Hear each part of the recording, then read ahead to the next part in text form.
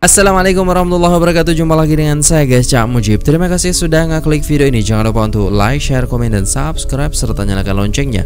Gimana kabar teman-teman semua? Semoga senantiasa dalam lindungan Allah subhanahu wa ta'ala Dijauhkan dari segala mara bahaya Malapetaka bencana dan balak Serta berbagai macam penyakit. Amin amin ya rabbal alamin. Oke guys di sini ada sebuah kesan daripada kawan-kawan sekalian. Wow hal ini yang aku temui di tepi jalanan Malaysia. Apakah ada juga di Indonesia? Jadi langsung saja kita play videonya. Let's go. Hai teman-teman Oke, okay, ini daripada channel Sari Ting Ting ya.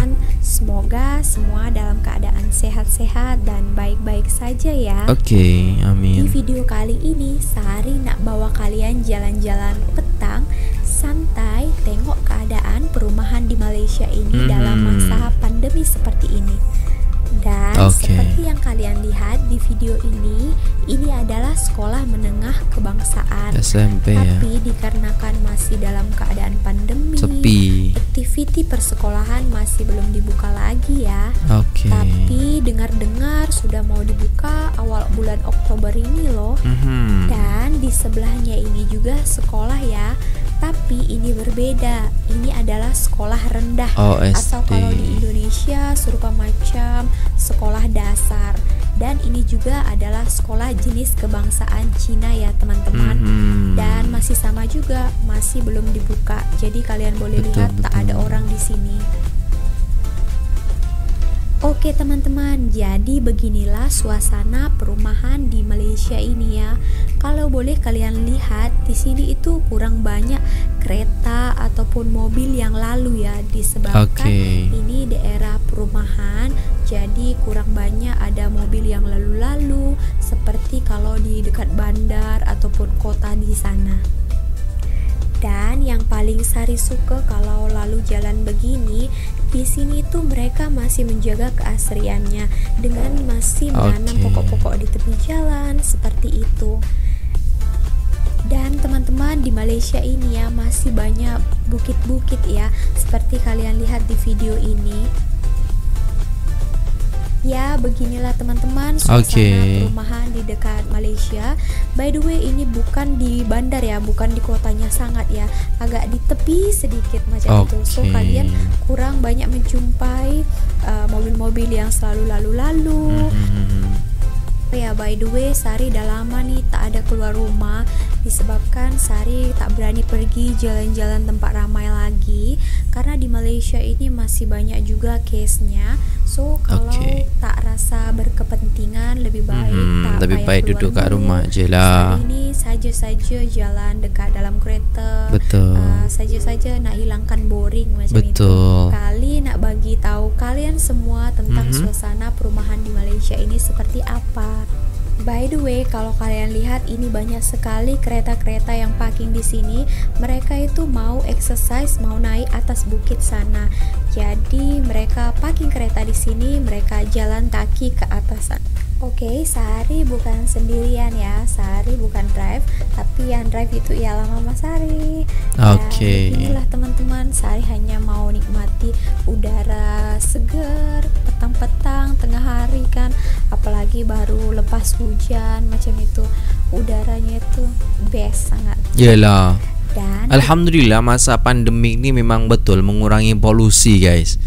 Ya, dan dunia bisa bernafas gitu kan istilahnya kita sekarang dimaskeri tapi dunia ya bumi ini bisa melepas maskernya guys so itu pesan moral banget sih jadi dengan adanya pandemi ini polusi juga berkurang gitu kan dan kita ketika menghirup udara segar maka itulah udara segar yang sebenarnya. Kita karena polusinya udah sedikit banget. cepat berlalu ya supaya kita boleh melakukan aktivitas seperti biasanya.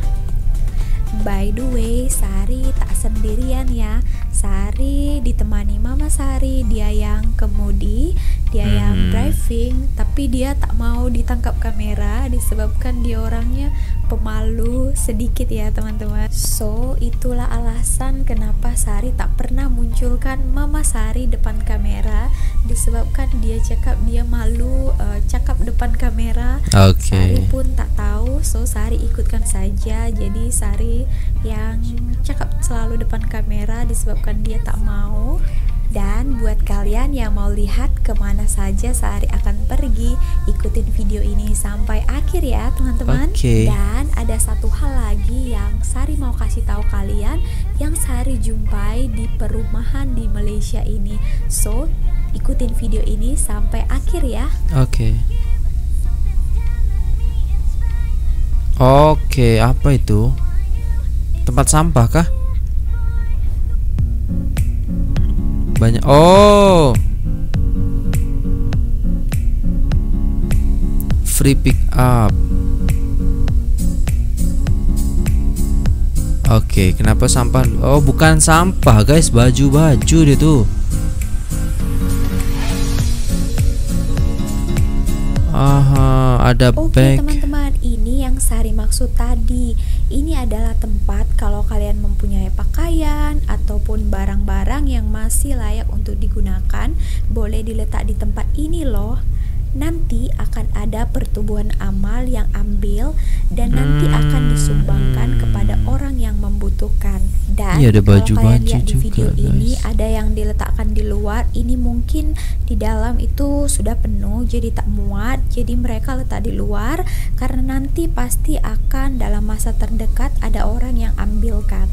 Oke. Baru tahu ada kayak gituan. Nanti kalau ada masa Sari akan letak pakaian Sari yang tetap pakai. Oke. See. Jom ikut Sari pergi jalan. Jom. Mungkin buat teman-teman yang uh, dah rindu suasana di luar, ikuti Sari jalan-jalan ya. Oke. Kita beli buah soalnya ke rumah Dabe. Masya Allah senang ya sejuk kita tengok tuh Aduh sejuknya udara nih Fresh ya. Sebab pandemi ini Bumi kita fresh guys.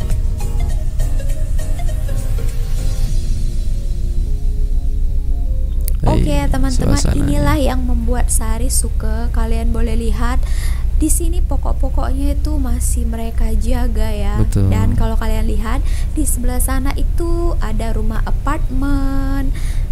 Dan yang di sebelahnya lagi itu adalah tempat pengisian minyak ataupun sel kalau di sini cakap. Dan untuk yang ini, ini adalah tempat pemberhentian bus ataupun bus stop. Jadi kalau kalian mau pergi ke mana, kalian boleh ambil busnya di situ. Oke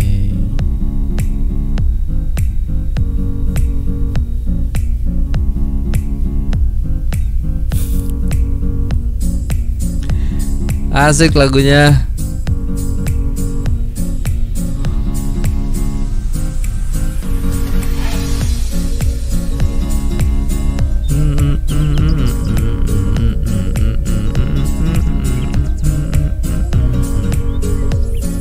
Oh senang guys. Tengok uh, jalan macam ni ya.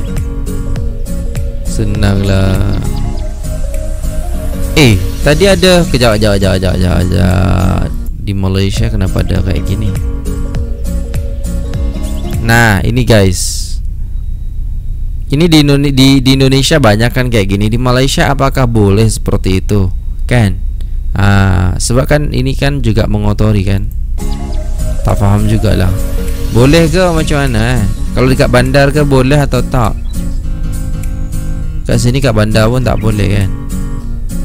Kalau pinggir-pinggir Tu ada yang Pasang macam tu Buat buat kotor lah Kalau saya cakap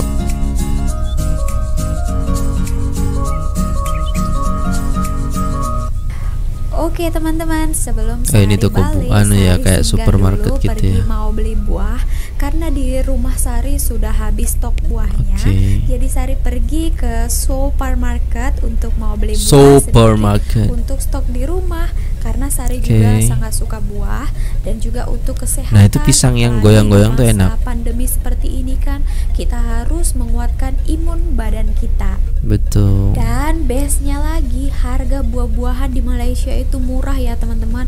Kalian Oke, boleh lihat 30. orange 30 ribu eh 35 ribu lah ah, Ini 10 ringgit ni kan itu 10 hanya biji. satu ringgit satu jadi 10 biji sekitar 10 ringgit saja teman-teman Oke, kalau kat sini satu tanda nah, satu macam ni ni ada yang harga uh, 15,000, ada yang 20,000. Mahal lagi ada paling 30 je lah.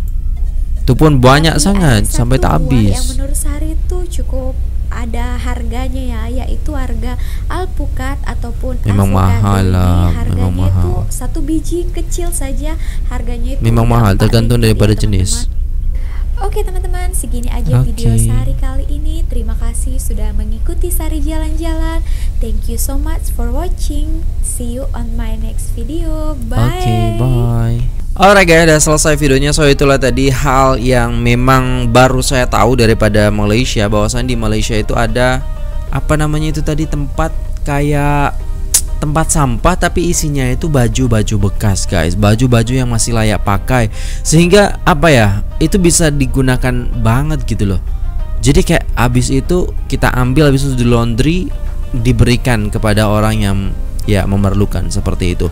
So ya keren sih baru tahu saya Ternyata ada seperti itu di Malaysia dan kalau di Indonesia biasanya eh, ada kotak ah, bukan kotak sih kayak orang-orang tertentu ya kan eh, kayak kita gitu kan mengadakan pengumuman bahwasanya eh, memerlukan ataupun buat kawan-kawan semua yang ada eh, baju yang tak terpakai nanti boleh hantar ke alamat ini alamat ini macam tu.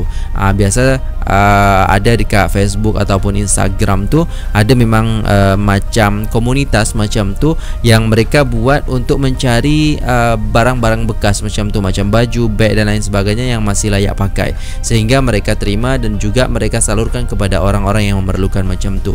So itu keren banget sih. Ini maksudnya apa ya uh, menggerakkan hati kita karena banyak sekali ya baju-baju mungkin yang tidak terpakai. Seperti saya aja baju-baju itu banyak banget yang nggak terpakai sehingga saya boleh uh, berikan kepada mereka juga.